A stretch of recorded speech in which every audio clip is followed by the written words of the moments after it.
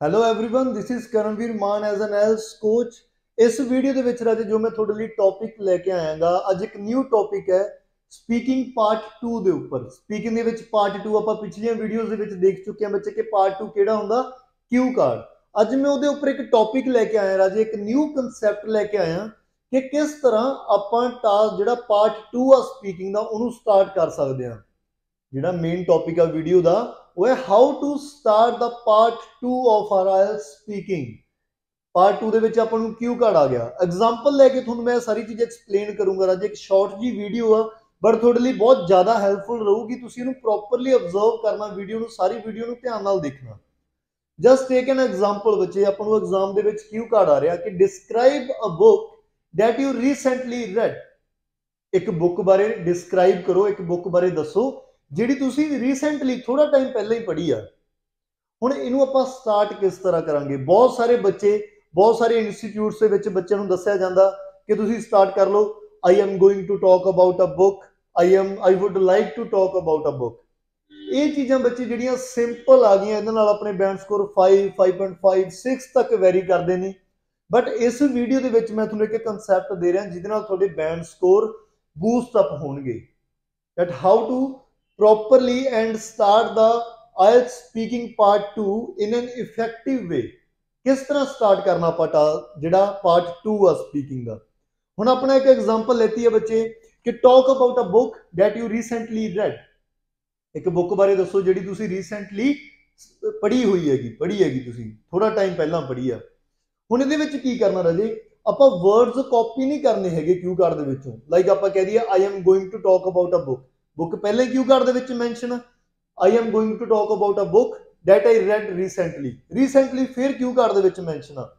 ਉਹਨੂੰ ਆਪਾਂ ਪੈਰਾਫਰੇਜ਼ ਨਹੀਂ ਕੀਤਾ। ਆਪਾਂ ਆਪਣੀ ਵੋਕੈਬਲਰੀ ਐਡ ਨਹੀਂ ਕੀਤੀ ਜਸਟ ਆਪਾਂ ਉਹਨੂੰ ਕਾਪੀ ਕਰ ਰਹੇ ਹਾਂਗੇ। ਕਾਪੀ ਨਹੀਂ ਕਰਨਾ, ਉਹਦੇ ਵਿੱਚ ਜਸਟ ਆਪਣੀ ਥੋੜੀ ਜਿਹੀ ਨੌਲੇਜ ਐਡ ਕਰੋ। ਬੁੱਕ ਦਾ ਸਿਨੋਨੀਅਮ ਯੂਜ਼ ਕਰ ਲਓ।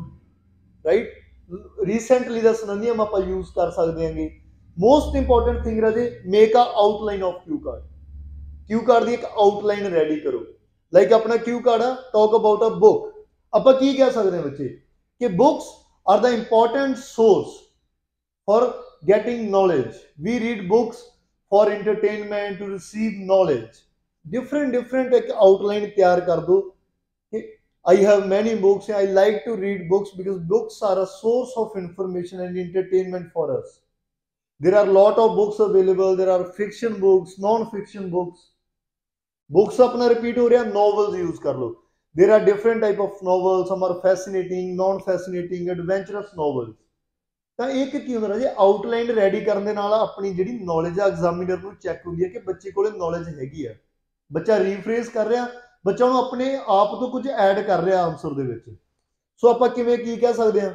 I would like to talk about a novel that I read 2 weeks ago ਜਿੱਥੇ ਆਪਾਂ ਕਹਿਣਾ ਸੀਗਾ I like to talk about a book that I read recently ਆਪਾਂ ਉੱਥੇ ਕਿਹੜੀ ਲਾਈਨ ਯੂਜ਼ ਕਰ ਸਕਦੇ ਆ I am going to talk about a book that I read 2 weeks ago ਇਹ ਹੋ ਗਿਆ ਆਪਣਾ ਫਰਸਟ ਵੇ ਸੈਕੰਡ ਵੇ ਕੀ ਆ ਬੱਚੇ I would like to talk about I am going to talk about a fascinating novel that I read not so long ago ਜਿਹੜੀ ਮੈਂ ਜ਼ਿਆਦਾ ਲੰਬਾ ਸਮਾਂ ਪਹਿਲਾਂ ਨਹੀਂ ਪੜ੍ਹੀ ਹੈਗੀ ਕੁਐਸਚਨ ਦਾ मीनिंग ਸਮਝ ਰਹੇ ਹੋ ਆਨਸਰ ਜਿਹੜਾ ਆਪਾਂ ਦੇ ਰਹੇ ਹਾਂ ਉਹਦਾ मीनिंग ਕਲੀਅਰ ਆਊਟ ਹੋ ਰਿਹਾ ਕਿ ਆਪਾਂ ਰਿਪੀਟ ਨਹੀਂ ਕਰਨਾ ਕਾਪੀ ਨਹੀਂ ਕਰਨੇ ਹੈਗੇ ਆਨਸਰ ਜਿਹੜੇ ਆਪਣੇ ਕਿਊ ਕਾਰਡ ਦੇ ਵਿੱਚ ਉਹ ਬੋਲ ਰਿਹਾ ਆਪਾਂ ਆਊਟਲਾਈਨ ਪਹਿਲਾਂ ਬੁੱਕਸ ਆਪਣੇ ਕੋਲੇ ਬੁੱਕਸ ਦੇ ਬਾਰੇ ਆਪਾਂ ਆਊਟਲਾਈਨ ਦਿੱਤੀ ਕਿ ਬੁੱਕਸ ਇਨਫੋਰਮੇਸ਼ਨ ਦਾ ਸੋਰਸ ਨੇ ਐਂਟਰਟੇਨਮੈਂਟ ਦਾ ਸੋਰਸ ਨੇ ਆਪਾਂ ਨੂੰ ਨੌਲੇਜ ਮਿਲਦੀ ਆ ਬੁੱਕਸ ਪੜ੍ਹ ਕੇ ਦੈਨ ਆਪਾਂ ਸਟਾਰਟ ਕੀ ਕਰਨਾ I am going to talk about uh novel book ਦੀ ਜਗ੍ਹਾ ਨੋਵਲ ਯੂਜ਼ ਕਰੋ ਉਹਨਾਂ ਨੇ ਕਿਹਾ recently that you read recently which I read two weeks ago, which I read not so long ago. Different set ਆ ਰਾਜੇ different type of things ਨੇ ਜਿਹੜੀਆਂ ਆਪਾਂ ਕਹਿ ਸਕਦੇ ਹਾਂ ਆਈ ਰੀਡ ਅ ਨੋਵਲ ਜਿਹੜੀ ਆਪਾਂ ਇੱਥੇ ਇੱਕ ਹੋਰ ਲਾਈਨ ਯੂਜ਼ ਕਰ ਸਕਦੇ ਹਾਂ I would like to talk about a novel which I read a couple of days ago, a couple of months ago. So ਇਹ ਵੇ ਆ ਰਾਜੇ ਉਹਨੂੰ ਸਟਾਰਟ ਕਰਨ ਦਾ ਕਿਉਂਕਿ ਜੇ ਆਪਣੀ ਸਟਾਰਟਿੰਗ ਹੀ ਬਹੁਤ ਜ਼ਿਆਦਾ ਇਫੈਕਟਿਵ ਹੋਗੀ ਨਾ ਤਾਂ ਐਗਜ਼ਾਮੀਨਰ ਇੰਪ੍ਰੈਸ ਹੋ ਜਾਂਦੇ ਨੇ ਉਹ ਚੀਜ਼ ਜੇ ਆਪਾਂ ਪ੍ਰੋਪਰਲੀ ਐਕਸਪਲੇਨ ਕਰ ਰਹੇ ਹਾਂ। ਹੁਣ ਇਹਦੇ 'ਚ ਦੇਖੋ, ਇਹ ਫ਼ਰਕ ਸਮਝਿਓ ਰਾਜੇ। ਇੱਕ ਸਾਈਡ ਤੇ ਆਪਾਂ ਕਹਿ ਰਹੇ ਹਾਂ I am going to talk about a book that I read recently ਇਹ ਹੋ ਸਿੰਪਲ ਜਿਹੜੀ ਲਾਈਨ ਆਪਾਂ ਕਾਪੀ ਕੀਤੀ ਆ ਕਿਊ ਕਾਰਡ ਦੇ ਵਿੱਚੋਂ।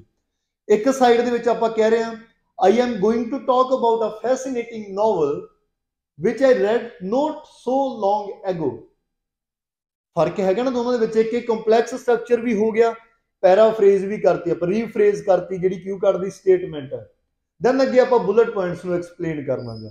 ਬੁੱਕ ਦਾ ਨਾਮ ਦੱਸੋ, ਕਿਹੜੀ ਆ? ਫਿਕਸ਼ਨ ਸੀ ਨਾਨ ਫਿਕਸ਼ਨ ਬੁੱਕ ਸੀਗੀ। ਆਥਰ ਦਾ ਨਾਮ ਦੱਸੋ, ਕੀ ਮੈਂਸ਼ਨ ਸੀਗਾ ਬੁੱਕ ਦੇ ਵਿੱਚ? ਸੋ ਮੇਰਾ ਮੇਨ ਪਾਰਟ ਮੇਰਾ ਇਹ ਸੀ ਬੱਚੇ ਕਿ ਪਾਰਟ 2 ਨੂੰ ਸਟਾਰਟ ਕਿਵੇਂ ਕਰਨਾਗਾ ਆਪਾਂ? ਬਹੁਤ ਸਾਰੇ ਬੱਚੇ ਸਟਾਰਟਿੰਗ ਦੇ ਵਿੱਚ ਹੀ ਮਿਸਟੇਕਸ ਕਰ ਲੈਂਦੇ ਨੇ। ਸੋ ਸਟਾਰਟ ਇੱਕ ਇਫੈਕਟਿਵ ਵੇ ਦੇ ਨਾਲ ਕਰੋ, ਜਿਹੜੇ ਦੋ ਵੇਸ ਤੁਹਾਨੂੰ ਮੈਂ ਦੱਸਣੇ ਕਿ ਰੀਫਰੇਸ ਕਰੋ ਵੋਕੈਬਲਰੀ ਜ਼ਿਆਦਾ ਯੂਜ਼ ਕਰੋ। ਸੋ ਇਹ ਅੱਜ ਦੀ ਵੀਡੀਓ ਲਈ ਸੀਗਾ ਰਾਜੇ ਆਪਣਾ ਲੈਸਨ ਸੀਗਾ part 2 how to start a Q card ਇਹ ਆਪਣਾ ਲੈਸਨ ਸੀ। ਨੈਕਸਟ ਵੀਡੀਓਜ਼ ਦੇ ਵਿੱਚ ਰਾਜੇ ਤੁਸੀਂ ਮੇਰੀਆਂ ਵੀਡੀਓਜ਼ ਨੂੰ ਲਾਈਕ ਸ਼ੇਅਰ ਜ਼ਰੂਰ ਕਰਿਆ ਕਰੋ ਤਾਂ ਕਿ ਮੈਨੂੰ ਪਤਾ ਲੱਗੇ ਕਿ ਮੈਂ ਕਿਸ ਤਰ੍ਹਾਂ ਦੀਆਂ ਵੀਡੀਓਜ਼ ਤੁਹਾਡੇ ਲਈ ਹੋਰ ਰੈਡੀ ਕਰਕੇ ਲੈ ਕੇ ਆਵਾਂ। So for more videos stay tuned thank you